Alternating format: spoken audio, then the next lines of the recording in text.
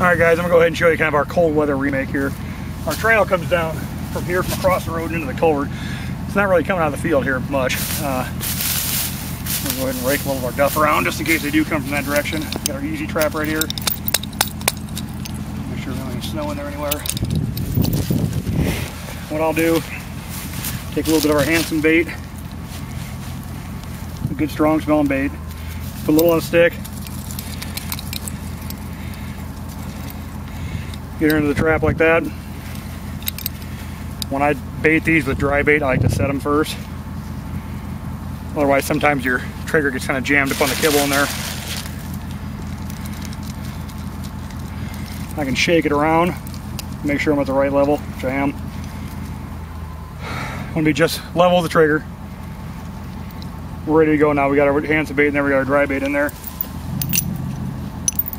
Once again, don't stick it in past the washer in cold conditions. That much into the dirt right there, and we're golden. Right in front of here, he's that trail coming down here, trail here. And any coon that comes by here is gonna buck trip on it. Thanks for watching.